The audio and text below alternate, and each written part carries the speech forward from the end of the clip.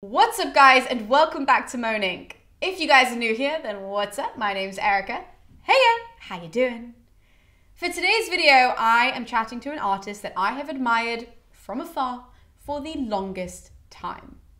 I first discovered him over on Twitter, and then it led me to swiftly follow him over on Instagram so that I never miss an upload of his incredible Greek mythology inspired art. Now, this art is individual panels depicting some of the most famous myths that you guys know, like Theseus and the Minotaur and the Labors of Heracles. However, not only that, but actually this artist gets into even these intricate moments from Greek mythology, like how the gods were born, how monsters were defeated, all of that sort of minor mythology as well that comes into these pieces that I just think is unbelievable. And when I discovered that all of this art was actually in preparation for publishing a book, you guys know that I sent him an email immediately and I was just so gung ho about bringing him on the channel. So I am absolutely thrilled to sit down today and to chat to Tyler Miles Lockett. So, Tyler, before we can get into your books, before we can get into uh, the plans that you have for the future, your art in particular, the way that I start these interviews is actually by asking my guests to explain their classics background and, in your case as well, your art background. So, when did you first discover Greek mythology? And then, how did it sort of end up getting combined into now the work that you do with your art?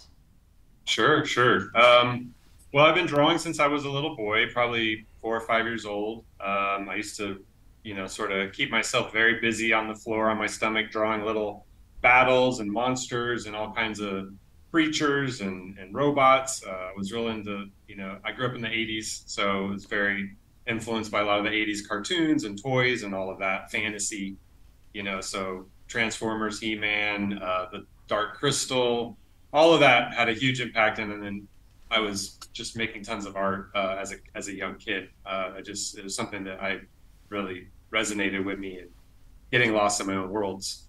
Uh, as far as Greek mythology, uh, I, you know, probably the first was when I was around that same age, around five, four or five. Uh, my dad had a brilliant book from. He actually took me to England, and we bought some hardback uh, fairy tales and Greek myth books, and the art was incredible. And he used to read those, so that was definitely the first sort of exposure. Um, but then in high school, we got into um, the Iliad by Homer, which blew my mind. Uh, and my dad's a literature teacher, so you know he he I, I, was lucky enough to grow up with him talking about Shakespeare and uh, British Romanticism and all kinds of stuff. But um, yeah, I wasn't prepared for Homer and the Iliad and how good it is. And I remember in, in class we were reading some passages, and I was like looking around at the other students, like, "Are you guys? Re- this is incredible!" Like I couldn't believe how just poetic and, and powerful and um, and just how elegant and, and the, the, prose was and, and, the characterization of the characters and stuff like that. So that that I was like, okay, I've got to get into Homer. I got to read these books and th- dig deeper into this stuff. So yeah, those those were two pivotal uh, entry points for me. So your dad being such a help, you know, the literature side of things when it comes to your art, do you bounce your art ideas still off your dad, or is he, you know, somebody that you show last minute your art to? Or oh, that's a good question. Uh, I don't really. We, he, he's not really there in the in the process of making it. I'll show it to him after the fact. Uh, but my mom's an artist actually, so I'll, I'll definitely get sort of share her my art with her, and then she shares her art with me. So we have uh, that very much in common my dad, uh, we have more, it's more of discussions about literature and talking about uh, writers and philosophers. And um, so I was quite lucky to be raised uh, by somebody who is planting these seeds of, uh, you know, um, these literary topics and, and world religions. And I, I, could go on and on about how cool it was to be raised by somebody who was question, you know, making me question things and, and introducing concepts that, you know, uh, from Zen Buddhism to um, you know Stoicism to stuff like that. So yeah, quite lucky to have been exposed early on. That is so sweet that you're like this perfect combination of both of your parents. Like what? Yeah, I've got I've got a bunch of negative traits too that I won't bore you with. So. but your dad isn't he with you currently in Thailand because you travel and you work? Correct. I'm a digital nomad. I've been uh, working online remotely. I've been traveling for many years, about 10 years. Uh, eight of seven or eight of that was uh, teaching English online while doing my own art projects. But yeah, he's he's traveling with me. We've been we've done about three years together, and we've done 10 countries together. So it's um, and again, like he's a very um, liberal arts um, humanities type of person. So he's a good traveler. We're, he's very curious about world cultures. So we have a lot of fun sort of going to the museums and learning about the, the historic, the culture's histories and stuff like that. So he's a good travel partner. So can you tell us a little bit what it's like to travel and do your work on the road? You mentioned there, you know, teaching English as well online. So how do you sort of combine all those things to end up with, I guess, this life that so many people, you know, look at internet jobs and they want themselves? Yeah, I mean, well, you know, so I'll try to give you the short version. I, I went to I went to Parsons School of Design in New York City and studied art. I got my bachelor's in illustration there, and I, you know, I always knew I was going to wanted to be an artist. Um, and then after school, I worked in advertising in New York for a while, and you know, that was, uh, mon- you know, was uh, financially rewarding, but not so much creatively. And then I went and worked in video games for a couple years, which was really fun. But I still had my own ideas for my own book ideas and my own some of my own projects that I wanted to do, and I felt like I couldn't do both. So I was like, and I knew I wanted to travel because um, so, I had had a couple travel experiences by that point, which I was like, oh, travel is really important and, and kind of life changing and life affirming. So I went to Japan and started teaching English. I knew I would find it. I knew I could teach there. Um, and so teaching English uh, just became really a way for me to travel and to experience the world. And then once I started teaching online, I really got more aggressive about travel because I was like, oh, cool, I can live anywhere. So then I really started changing countries every couple months and um, experiencing some cultures that I had always wanted to visit. Um, and then I got a little bit more intentional about my art and, and the Greek mythology and the book and sort of saying, okay, let's let's set a goal that's you know reasonable and let's let's jump into this like a hundred percent. So before we get to your book, because I obviously want to talk about the book, that's where this is all really going. I want to talk to you about your style because your art style is so distinctive. It's one that literally, if you're scrolling fast through Twitter, you'll always stop because you know it's your piece of art. Oh, that's awesome. That's good to hear. So I'm wondering where that comes from. You know, what artists inspired you and what helped you craft the style that you now draw in? It's a it's a good question. It's a hard question. It's um there's so many influences I think that um, these little sort of drops in the bucket that um, I think as I mentioned that you know growing up in the 80s with uh, the fantasy video games and movies and animation that had a huge effect. So everything from the Disney stuff to like I said, the Dark Crystal and uh, you know those types of uh, the darker stuff in the 80s. I really liked. I even liked some of the horror movies in the 80s when I was a kid. I was you know a, my dad you know uh, let me watch some of that stuff, and it had an impact. Um, so I love the darker stuff. So that I so my work, even if the content isn't dark, aesthetically it does sort of start to tend to drift to a darker sort of place. Uh, but specifically, um, Nowadays, I would point to a lot of the golden age illustrators from the 50s and 60s. So people like Eyvind Earle or uh, Mary Blair, who did concept art for Disney. Um, she she did Peter Pan and Cinderella and A Small World, and so her stuff is so economical. Um, that's something I really admire about her work is that her brushstrokes and her color use is very intentional and efficient. She's not she's not getting lost in details and getting lost in she it's like she knows exactly what she wants to do and she just executes that which i i really uh, admire that efficiency. I'm trying to be more efficient with um, because with digital art it's very easy to go oh let me try this let me try this let me try this and you keep going down all these little rabbit holes and you wasted so much time. So somebody that's an artist like her uh, mary blair that's so intentional and efficient i really admire that. And she does gouache uh, which is a very unforgiving um, medium. It dries super fast. So I, I have a lot of uh, admiration for artists like that. So yeah, the Golden Age illustrators, I think their work is just very charming. Um, and uh, I don't know. There's something about that time period that's just they were just on. They were just rocking and rolling back then with their with the the children's book illustrations. are so magical and so um, just full of wonder. You know, something I love when looking back at artists, like I'm so weird, but like I watch all of these videos on YouTube, which are just like how cartoon characters have changed over time, like based on the artistry. So recently, totally off topic. Do you know Dexter's Laboratory? Mm-hmm, mm-hmm. Right. So I watched like a whole video about how Dee Dee has changed from like original sketch to. I I just love that like behind the scenes sort of like look into things. The evolution. How, yeah, I I find that so fascinating. So check out The Simpsons. Oh, really? Oh, man. The very first season of The Simpsons was on the Tracey Ullman show, and this was 20, 25 years ago or whatever, maybe 30. And yeah, they look like pretty rough, chicken scratchy characters compared to how they, yeah, it's interesting. I love that stuff. So it's cool. That's why with your art, I absolutely adore when you post those like reels of like, here's the original sketch, and then you know, moving from that to then kind of coloring it in to then scanning it to then uploading it to then final. Like, I just love seeing that because you see how those shapes change and then the color comes into it. It brings it alive and all of that. So, cool. I'll keep doing them. Please do. Honestly, like, I share them whenever you post them. Oh, good. Yeah, they're fun to make too. I like to share that back, the behind the scenes stuff.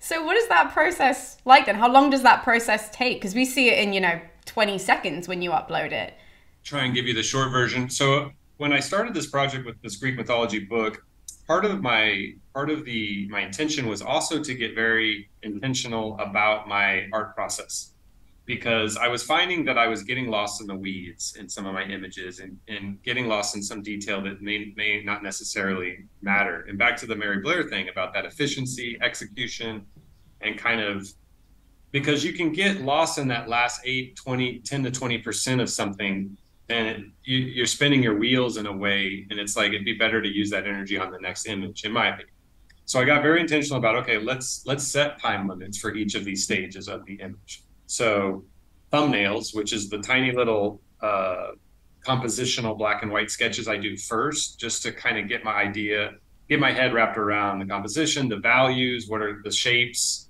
uh, light on dark dark on dark on light what's that going to be like so I typically spend about an hour to two hours on that. Then I'll move to um, the line work. I'll spend an hour or two on that. Then I'll move to the color sketch. I'll spend about an hour on that. And then the final painting could take anywhere from five hours, you know, probably around five hours. So hopefully, I, over the course of two days, I can kind of knock something out that I'm happy with. Some go a little faster, some go, depending on complexity, longer. But yeah, within hopefully within two days, I'm, I'm happy with what I can from from initial concept to final painting. That seems like an awfully long time. Does it? Two days? I'm just hearing that and I'm thinking like how just like how intricate they are and how detailed they are and how much work is put into them, how much love is put into each and every one of them.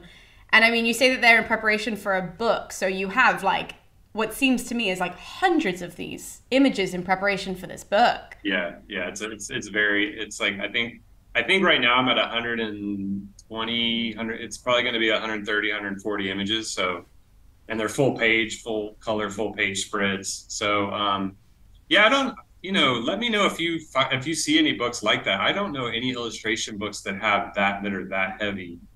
Um, it's kind of crazy that I, there's so it's like I was actually really worried about the printing costs. I was like, oh my god, is is is anyone is this even going to be printable? It's like too much color and too much but luckily, um, if I'm planning to do the self-publishing route, the the printer uh, that I'm looking at using doesn't charge based on the amount of ink used. So that's good news. Okay, so backtrack to step one of this. Can you tell us a bit about the book? People who are listening and who are hearing us saying book and throw around, you know, all this art. Can you explain what the book is for them, what they can expect from it, you know, that sort of stuff? Absolutely. Yeah. So, you know, we were talking about the golden age of illustration and, and kind of, I mentioned, um, you know, my dad reading a book to me about Greek mythology. So, you know, the, my, my goal really is to create art, contemporary illustration that really uh, captures the imagination of these tales and also kind of brings it, uh, brings these visions forward in a way that we haven't really seen them. So that, um, my goal is always to do something original and unique. So hopefully, when you're looking at some of this, you're like, oh, I never thought about the Minotaur having being white and having that design, or I've never thought about, you know, that's not how I pictured Kerberos. I thought that was a black dog, but I did, I portray him differently. So and then stylistically as well, trying to put a spin on these on these myths. So visually, I want to do something really um, full of wonder, like the children's books. But these this book is not for kids because I'm staying very authentic to Hesiod and Homer and and the literary sources. And uh, you know, there's a lot of dark stuff that goes on. There's there's a lot of violence. There's sexual violence. There's uh, you know a lot of just pretty terrible stuff going on between the characters. Um, so I'm staying true to that. So this is not something I would read to a six or seven year old. Um, but at the same time, I'm not portraying that stuff with a lot of gratuitous imagery either. So, um, but yeah, as far as the content of the book, I'm summarizing the myths. I'm hopefully giving some cultural and historical context, some academic information that you may not be aware of, uh, depending on who you are. So, in theory, if you're a complete beginner, you can you can read this book and get a really great overview of you know the the, the general myth and some academic, cultural, uh, historical information. And if you are like someone like yourself, well versed in the classics, you can you can just kind of it could be a, a, review and have some cool art to go with it and kind of something that so hopefully everyone can appreciate it on, on some level and planning this book, what is that like? Because I think for a lot of people who, you know, whether it's they watch this channel and they listen to my author interviews or they just read books or they buy these kinds of books, you know, most of those are done through traditional publishing. So they give you parameters to work with. They say, you know, you've got to have this many pages or this many words or by this date or whatever it is. So, what's that planning process like for somebody who's doing it themselves and that has to create almost those deadlines the parameters the page number you know how's that been yeah, this is where my imposter syndrome starts to like i mean it's a little bit of trial trial and error and kind of figuring out as i go um, but yeah it's funny with with this topic because there's definitely been days where i'm like man i gotta like cut some of this because this i could just do this for the rest of my life i, I could you know what i mean it's just the amount of and there's still there is still stuff I want to put into this book, and I'm like, I just I I'll be working on this for the next three years. I gotta like, so um, so yeah, I you know I just I kind of wanted to do the stuff that is really the broad strokes. So the primordial deities, the Olympians, and then I got five or six of the main myths. So we've got Orpheus, Theseus, Perseus, Atalanta, the Amazon, warrior women, Heracles, and then I was gonna do Bellerophon, but I don't think he's gonna make the cut. Uh, he may. We'll see. And then Argonautica is the one I'm going to do next, which I'm super excited to do, and it's quite an epic tale, obviously. So I'm going to have to figure out how to edit that down to something reasonable. But um, but yeah, those are the broad strokes. And then of course I've got an introduction with like talking about Homer and Hesiod and other literary, uh, classic literary sources and a map and, and some of the religious stuff about the Hellenic polytheism and, and the mystery cults. So I'm just really trying to give a bit broad overview of, like I said, like you could come to this topic and not know anything about it and read the whole book and, and, and it wouldn't take you too long because the, the, the, the structure is going to be one page of art and one page of summary and, and um, some, some interesting cultural information. And that's the whole book. Boom boom boom boom boom. So you can really move through it. It's really concise but hopefully powerful and punchy. You briefly said there about imposter syndrome so i kind of want to tap into that a little bit more. Because you're not traditionally classically trained and i'm just wondering because i feel imposter syndrome personally and i am traditionally trained i'm somebody that went through all the professors all the lectures all the everything and i still put out a video and i'm like oh my god, like someone's to find something wrong with this, or I left something out, or whatever it is. So for you, I mean, how bad is the imposter syndrome? Or do you find that because there's no necessarily like backdrop to it of like the classroom and the professor leaning down at you being like, you mistranslated this, it's not as bad as it possibly could be? You know, it's a it's an interesting question about imposter syndrome. Um, the first thing I'll say is that my passion overrides my embarrassment of making mistakes. So I'm, you know, the, I'm so interested in the the plots and the characters and the the interwoven uh, threads of the of the of Greek mythology. It's such a brilliant, um, such a brilliant structure and design. Um, and and I love the Greek tragedy. I love the, the I love the tragic heroes and the, I just love that stuff. Uh, I'm also I also do uh, got some fiction stuff in the works, and I just that stuff is so inspiring for character arc development and plots, and it's just brilliant. So nothing can take away from that interest. Um, but writing a book about it, that's a different situation. You're presenting information. Um, you know, I, I I put it out there. I do my research. I go to the source material and I use that. And you know, um, I'm going to do my best. People tell me I'm wrong sometimes, or actually, they you know, it's actually this and not that, and that's fine. I love to hear. I love to be corrected. Um, so people on Instagram or Reddit or or Twitter or wherever I'm posting stuff from time to time will correct me, and I say thank you so much. Please do. Please keep correcting me. So um, for me, it's an opportunity to learn. I don't. I try not to be too afraid of being wrong because I know if I'm wrong, people are going to let me know, and that's fine. And and and people are always very polite because they know I'm coming from a genuine place of um, of passion and interest, and I'm and I'm also they also hopefully know my personality by now, where I'm pretty humble about being schooled, and I'm okay with it. I'm, I don't fight back. I don't argue. Well, no, no. I mean, unless somebody's unless I've really done my homework about something and I know the source material and they're coming at me from a different angle, then I'll fight back or whatever. But you know, somebody like you, if you said, "Hey, actually, Homer said this or that," I'd be like, "Oh, thank you so much. I I didn't catch that or whatever." So, yeah, just staying flexible. Um, yeah, makes it makes it all run smoothly.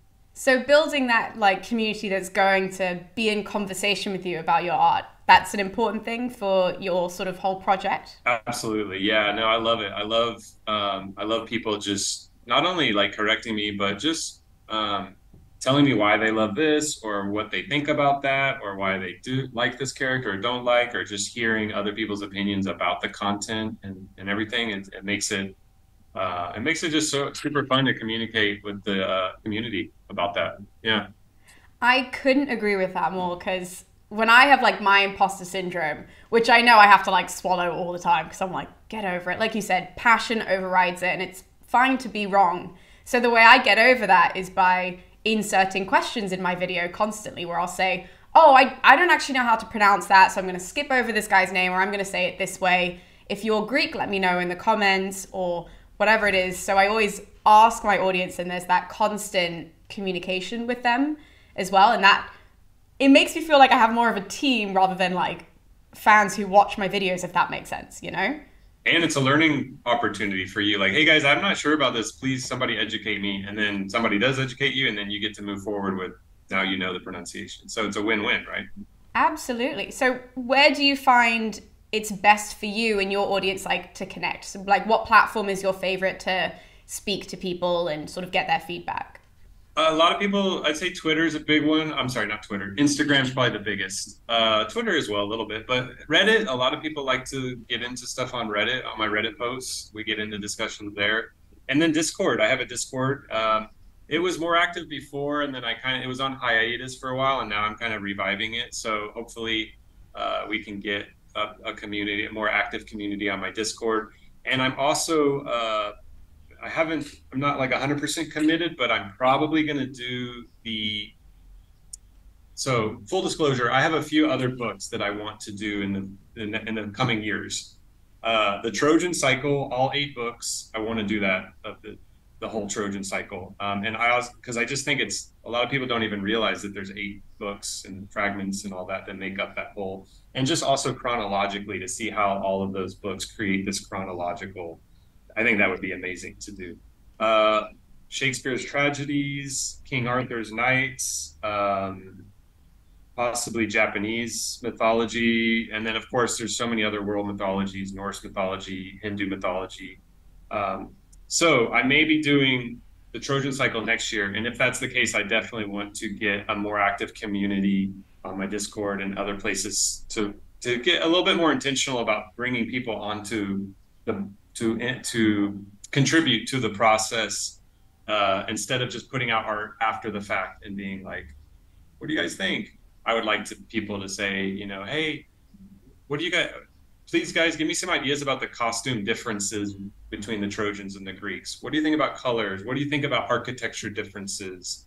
You know, how should Achilles, how should the Myrmidons look different from the other Greeks? Stuff like that, uh, because it's you know, it's no, it's a, it's no small order to design all that stuff. Um, so, anyways, yeah, I'd like to get get a little bit more um, bring bring people into the the creative process more on the next one, actually. So, do you hope then with each book, with each project, that community is building, building? You get more voices, sort of helping you along the way. Absolutely, absolutely, yeah, yeah. I mean, because when you just do that kind of stuff in a vacuum by yourself, um, it's just it's not as much fun. It's so much more fun to have people, you know, like even people telling you, oh no, don't do that because X Y Z is like, oh good, thank you, or you know, have you thought about this? Oh no, I haven't. That's a great idea. So I mean, yeah, it just it, it makes it a lot more. Uh, what's the word? Just yeah, just rewarding. Yeah. I I have that as well with my videos, especially when I do summaries, like because I'll put out my summary video which does exist with me in a vacuum of just reading, summarizing, sorting it out. But as I said, I always put in questions. So at the end, I'll always say, if I've left something out there that you think is important to understanding this chapter, then leave it below. And I always have people pointing things out that even though, as I was reading it, I noted it, I would never have thought that it stood out for somebody else. And so it's kind of made me go back to that and be like, what is it about that character that that person, you know, latched onto, or that detail that that person found really interesting? So it, it helps me to go back and to read it a different way as well. Absolutely. Yeah, it's it's the same with the art. Like people respond to stuff that I didn't expect them to because I thought, oh, this is the thing that I'm so interested in this image is X, Y, Z, but somebody else might be like, no, this uh, this thing over here is interesting for X, and I'm like, oh, I didn't realize, or you know, so yeah, that's always fun to get the to get the uh, interpretation of other people.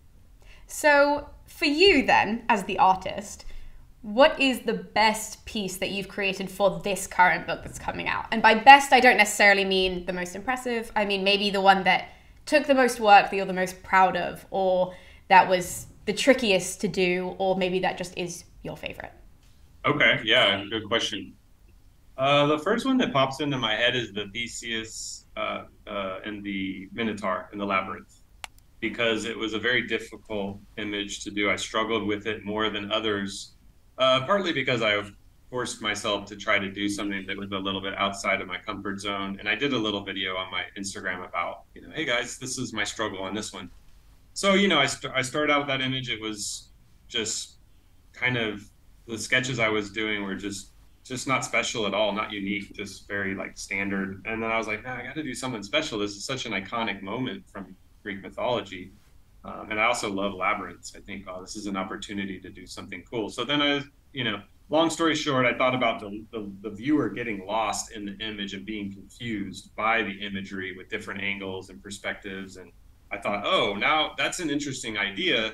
How are we going to execute that? So I was started looking at MC Escher and the impossible geometry and, and basically did something that was, uh, you know, based on that sort of structure, uh, visual structure. So you know, it was there was some growing pains and some some stress and trying to figure out how do I how do I do this impossible geometry thing. But but uh, I was really happy that I pushed myself out of my comfort zone. So that one has has some blood, sweat, and tears in it that I'm proud of. I love also the color contrast in that one because Theseus is like holding his his little torch, and all around that it's like it's a little bit light next to him, but it just gets darker and darker. And as you said, it gets more confusing then because you know, everything is all sort of warped in weird ways. And so as you're sort of looking into the darkness, I'm like, there's so much to this piece.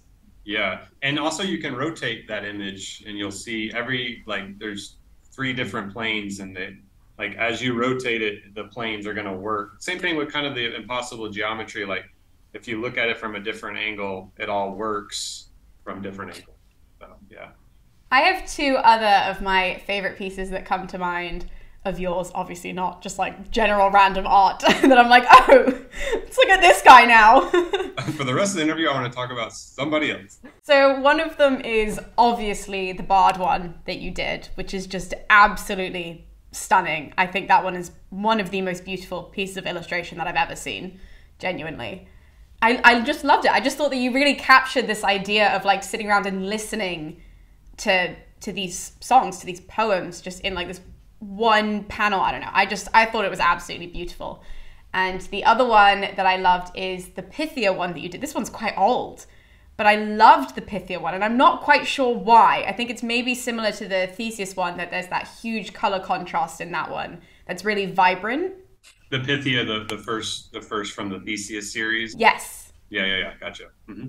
I loved those two. I thought those two were just so different again, and I think that you know that that beauty in taking the myths and reinterpreting them. How do you, as an artist, separate yourselves from, I guess, sort of a canon that's been done before? Like you were mentioning earlier, you have, you know, characters that you've done in different colors, you know, that you've just styled differently, and people have this idea in their head already, not because that's how necessarily, you know, all the ancients depicted it, it's because one person did it that way and it's been a knock on effect. So, as an artist, how do you separate yourself from from that?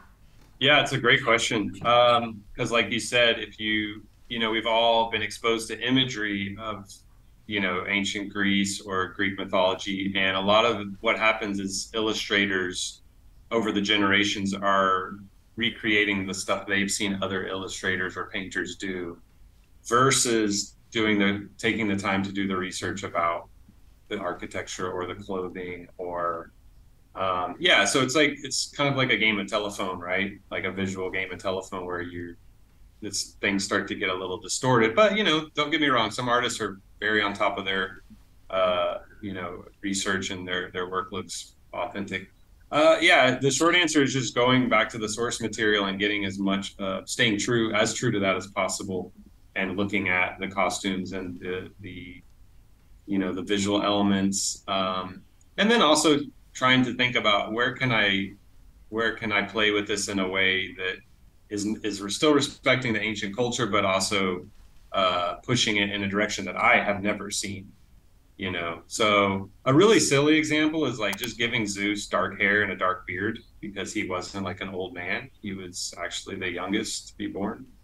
And you know, it could but could also be something like Kerberos, the the dog that, that guards the the gates of uh, Hades. So typically that like nine times out of ten it's going to be a black dog with fiery eyes or whatever. Um, i i portray the dog like more as like almost like translucent skin.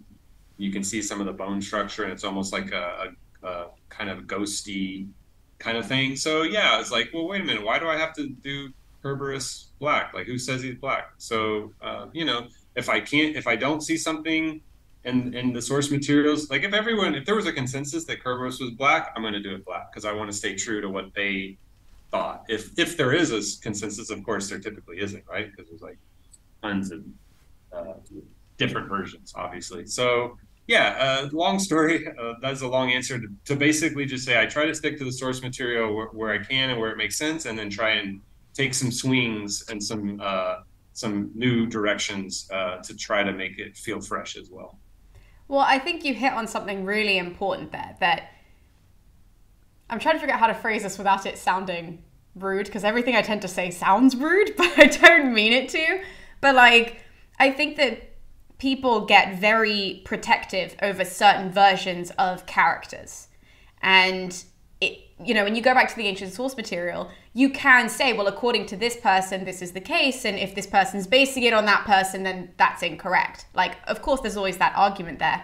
But in general, you know, these writers were even writing years and years and years, you know, apart from one another. So they have very different ideas that are impacting the character, the way buildings looked, the way mythology worked. Like we have so many versions of different myths that you know, they related to that audience at the time that it was being written.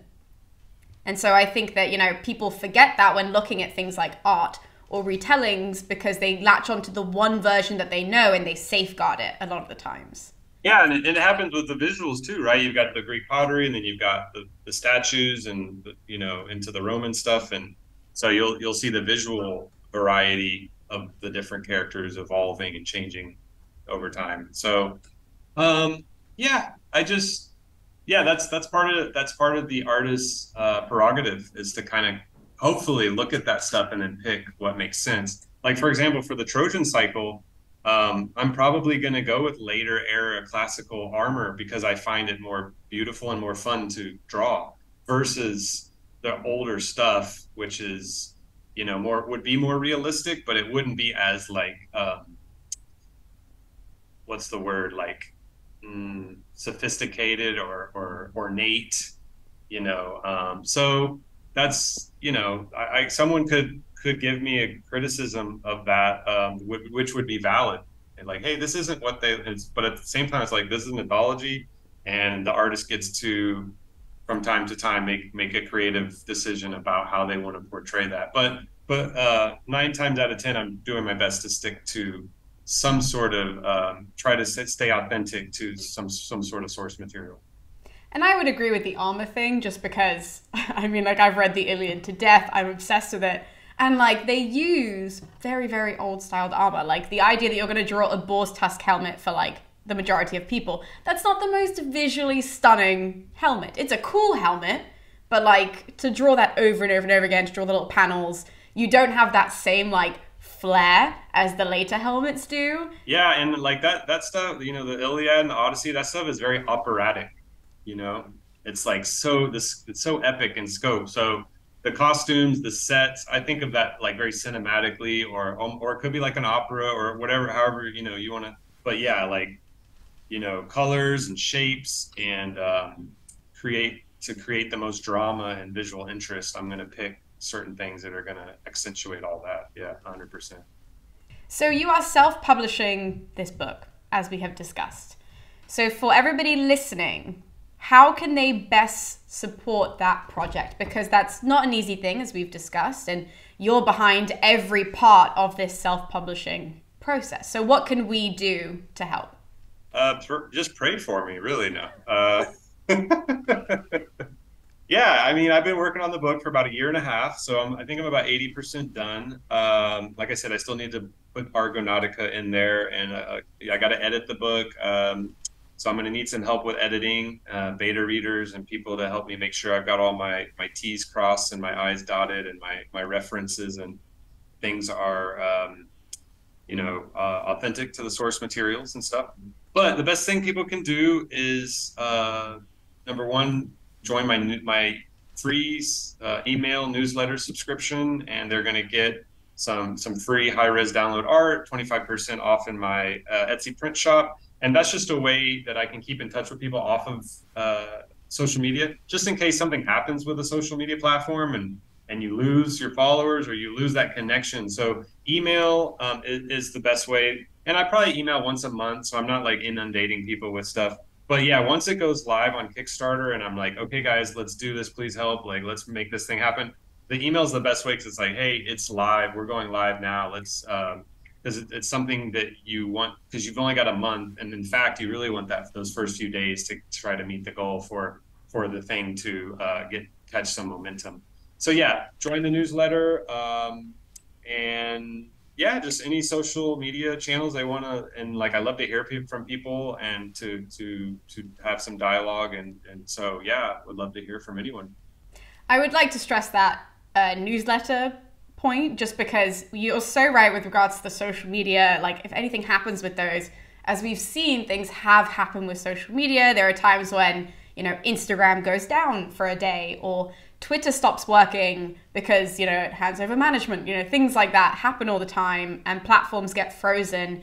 So I cannot stress that point enough that if you guys who are watching like somebody's work or appreciate somebody's work to subscribe to newsletters because that is like Tyler's way of letting you guys know that things are happening without those apps having to work and also without you guys having to go on and check those apps as well. It's coming straight to you, which is important. And God forbid I post a, a illustration of Aphrodite with a nipple showing at some point and then get banned or whatever. You know, who knows? So um, I've been lucky. I haven't had any problems so far, but yeah, email is going to be the safest option. But um, yeah, any social media, and of course, um, if people want to, uh, you know, if they're interested in the book, just please uh, stay tuned because you know it's coming. It's coming soon. More information about it, and and it's it's going to happen. So I'm super excited to get this book out in, into the world and into people's hands. A lot of people have been showing a lot of interest in, in getting a hold of it as well. So I can't wait. I'm super excited. It's my first one. It's been a dream for a long time. I've always dreamed of of doing something like this. So the, the last couple of years of work are are starting to come to some sort of fruition. Um, and and yeah, I'm just super excited about it. It's going to be amazing. I'm really nosy, so I really want to ask this. I can cut this if you want me to cut this question, because I ask a lot of people this question. They'll oftentimes be like, "You can't let people know all of this," but this is, as you were saying, like such a dream of yours to do, and now you're doing it.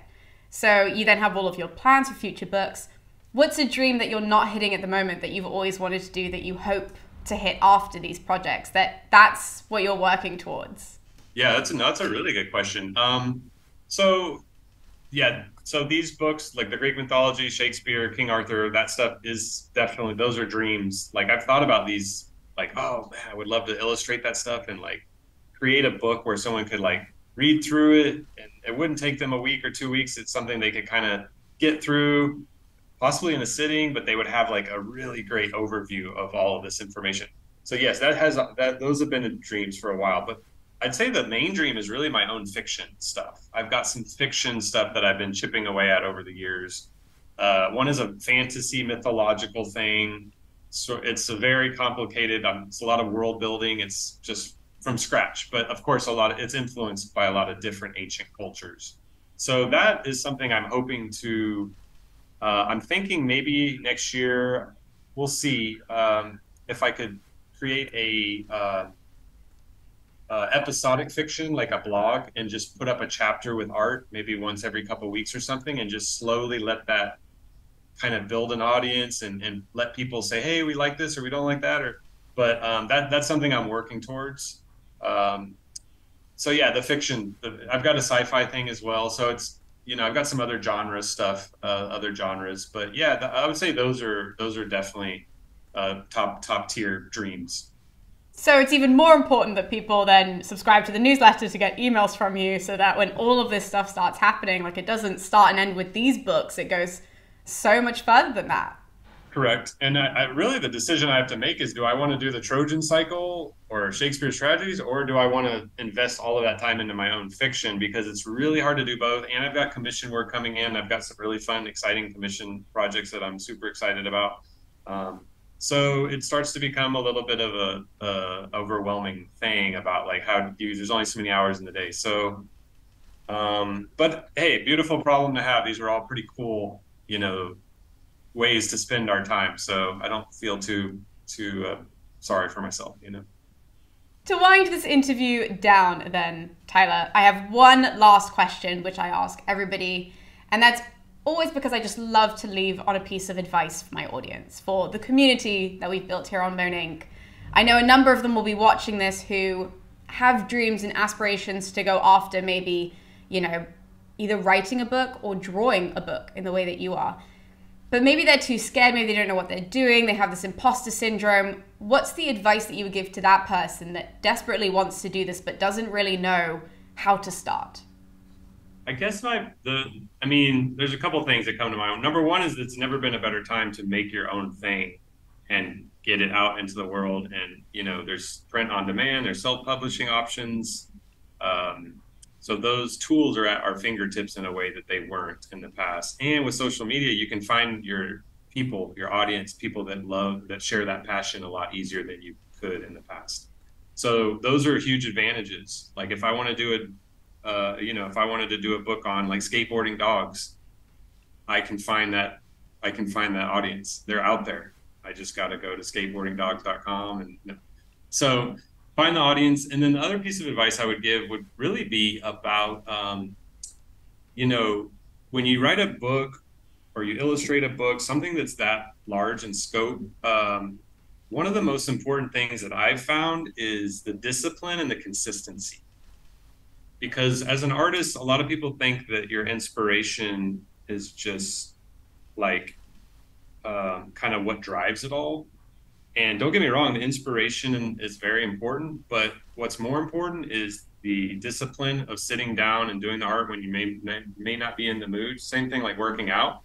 It's like you just do it every day. You get onto a routine and it becomes your lifestyle, and then you don't think about it. You don't think about, oh, do I really want to go to the gym? Like, no, we're I've been doing this for years. It's five o'clock. It's time to go work out. It's time to go exercise, whatever the, or whatever your you know your lifestyle is. So yeah, discipline, consistency, uh, picking, you know, saying, okay, I'm going to write this book in six months. Well, how many images do I want? I want 50. Well, how many do you need to do per week to reach that goal? So, long term goal, breaking that into shorter term goals, that uh, to me is like down and dirty where the rubber meets the road uh, advice about whether or not you can you can actually reach the goal is like breaking it down into those manageable parts and then being consistent and disciplined about hitting those short-term goals. Yeah. I could not agree with that more tyler. That is such a good place to end. I couldn't have said that better myself. So thank you so much for chatting with me today. And obviously, as I say at the end of all of these calls, thank you guys for watching. Thank you guys for supporting my channel. But more importantly, thank you guys for supporting Tyler's work because all of the links to Tyler's social medias, his Discord, all of that sort of stuff can be found in the description below. So please do not forget to check that out in order to help support the art that Tyler does and the work that Tyler does for this community and broadening it out to a wider audience. So, with all that being said, it's time to love you and leave you. And thank you so, so much for tuning in. We'll be seeing you next time with more videos here on MoAn Inc. So I'll see you guys then.